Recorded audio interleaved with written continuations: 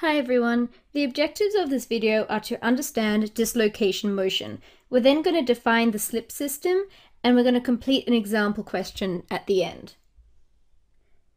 Okay, so dislocation motion. Essentially, if a dislocation doesn't move, then deformation doesn't occur.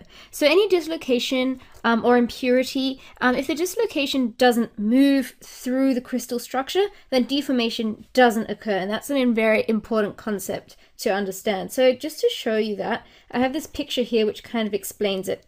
So as you can see in these first two diagrams here, what is happening is, so this is the initial starting position, a force is applied in that direction, as you can see, and a tilting of the plane starts to happen.